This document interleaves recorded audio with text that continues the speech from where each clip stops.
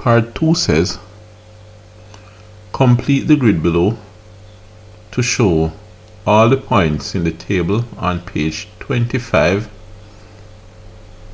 and hence draw the graph of the function f of x is equal to 3 plus 2x minus x squared for x greater than or equal to negative 2 and less than or equal to 4. That means x between negative 2 and 4.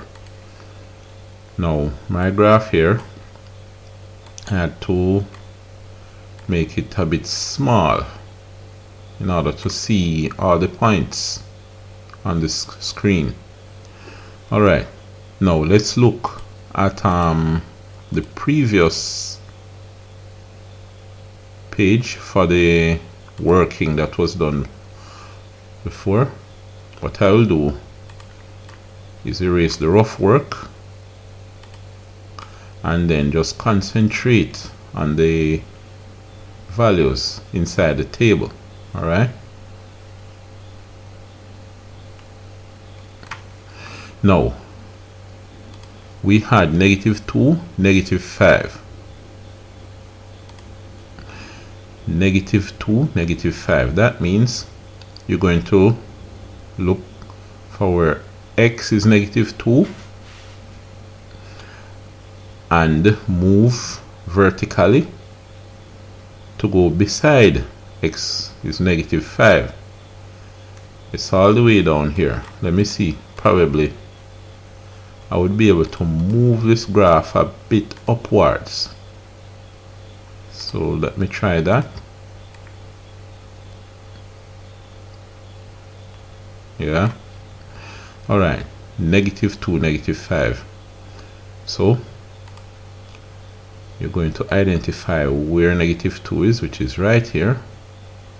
You move horizontally to negative 2 then vertically to go beside negative 5 and it's going to be at this point. Alright so negative 2 negative 5 it's located right here. That's negative 2 negative 5 my mark there is a bit messy. Yeah negative 2 negative 5 don't use a dot use an X or you could use a dot with a circle around it right to plot your graph.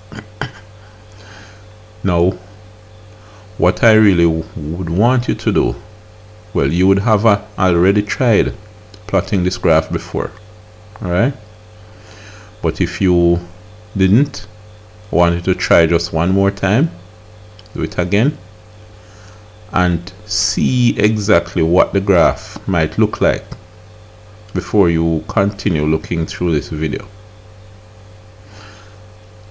Alright I'm assuming that you've already plotted the points. So here this this point negative 1 0 because along the x-axis this point is at negative 1 and beside 0 so that was negative 1 0 good. The next point was 0 3 so we had 0 on the x-axis then project upwards to 3 on the y-axis that there already. Then we had 1 4 we go to 1 along the x-axis and move up to 4 on the, uh, so on the y-axis. So you'd have gone, gone right at 1 then move up beside 4 and that's the point you would plot or that was already plotted. Then 2 3 so you go to 2 on the x-axis then move upwards right beside 3 that's where you're going to plot. So this point is 2 then up to 3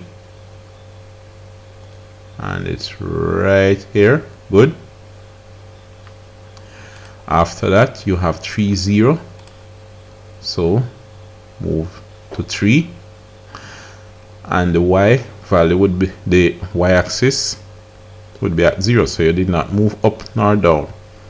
You remain at 3 and that's point that point is already plotted. Then 4 negative 5 so what was that 4 negative 5 you would move from 0 to 4 points on the x-axis then negative 5 means negative move downwards 5 units so you move right beside 5 so this point is a point that was already plotted alright so then what you're supposed to do is to draw the curve through this point. What they say you should do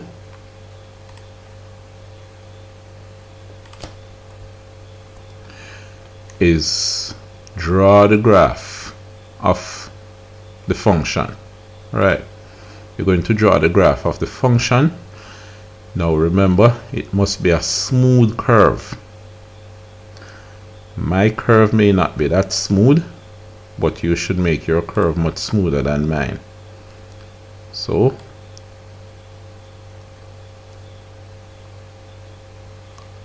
I'll try to make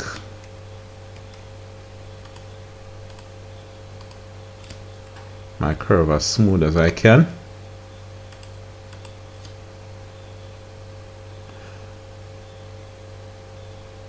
so I move upwards this way. Mm -hmm. that's true. The next this point the next point is up here. And this is the next point so I try to make it smooth like that. Come downwards. Through this point and then finally aim to make it like this. No there's a bit of a bend here. You shouldn't you should not bend the curve towards a point. It should have already been going towards that point. Right? So you should not join the points with a ruler and using straight line. No it should be a smooth curve so this is the curve that I have all right? Your curve as I said should be a lot smoother than this particularly if you use a drawing instrument which is called a French curve. Okay so later on